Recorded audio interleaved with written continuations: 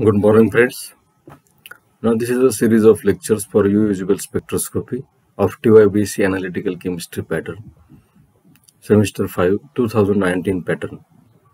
Now, we have learned already about the visible spectroscopy. What are the instrumentation? What is the principle?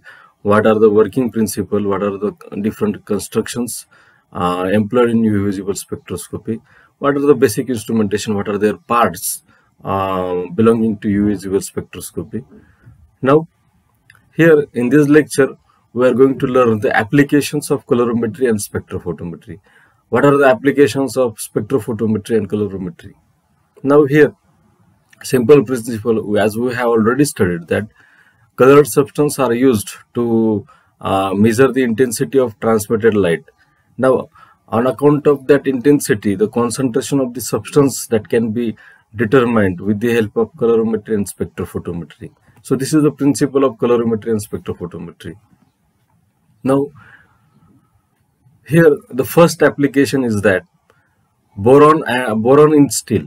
Now, boron uh, always uh, can say uh, boron is used in steel manufacturing because boron provides the strength in to the steel.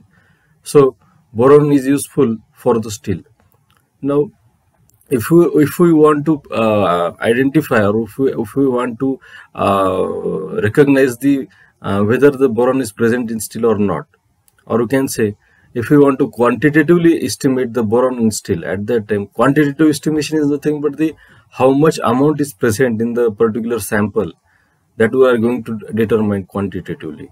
Quantitative estimation is nothing but the how much amount of particular sample is present that is nothing but the quantitative estimation. So boron in steel that can be determined with the help of colorimetry and spectrophotometry. In this regard, boron in steel can be estimated as colorimetric determination for methyl borate dry residue using dianthrimide reagent. So dianthrimide reagent is useful for the estimation of boron. So this reagent converts the boron to methyl borate which is nothing but the dry, dry residue and uh, uh, this dry, dry residue is spectrophotometrically or sorry colorimetrically estimated. Now second application is chromium in steel. Now similar to boron in steel that is chromium in steel that can be also identified. Chromium in steel can be estimated as a colorimetric determination using diphenyl carbazide reagent. So the reagents are very useful because why? Uh, the reagents provide the uh, uh, colored analyte to the colorimetry.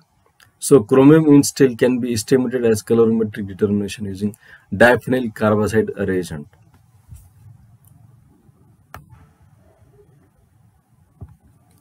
The third application of uh, colorimetry and spectrophotometry is that ammonia in water. So ammonia in water uh, uh, that can be estimated using colorimetry and spectrophotometry.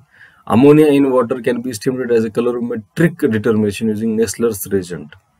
So Nessler's reagent is useful for the determination of ammonia in water. Fourth application is chloride. The colorimetric determination for chloride procedure involves the mercury to chloranilate method.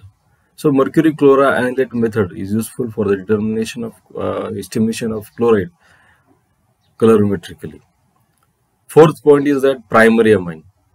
Diazotization and naphthaquinone method in coordination with colorimetric method is used for primary amine. So primary amine is nothing but the two hydrogens are, uh, okay, so one hydrogen is replaceable and two hydrogens are uh, present at the periphery of nitrogen atom. So di diazotization, di diazotization, okay, so diazotization. So diazotization and uh, method is useful for the determination of uh, primary amine colorimetrically. Next one, spectrophotometric titration. If you take the example of uh, estimation of copper 2 plus uh, with the help of EDTA, that is ethylene diamine tetraacetic acid complex.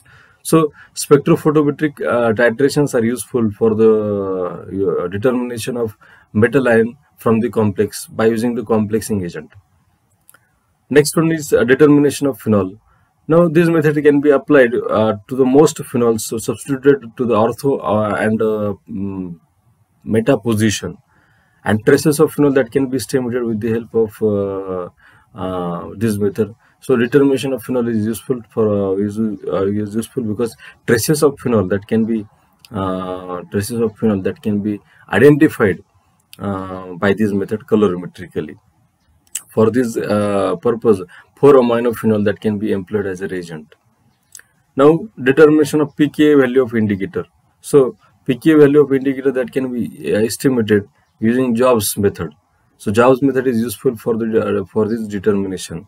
So, uh, with the help of colorimetric uh, method, we uh, determine the pk value of indicator. Now, the last one is that determination of composition of metal complexes. So, metal uh, complexes has the composition, and this complexes uh, composition of metal complexes can be studied with the help of colorimetric titration. So, this is all about the applications of the uh, colorimetry and spectrophotometry.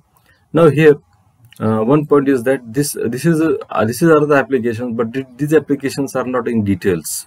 So only uh, we can say the reagents are given, only information is given, and only baseline or we can say basic sentence of the application is given. So with this content, I conclude this lecture. Thank you very much for patience listening.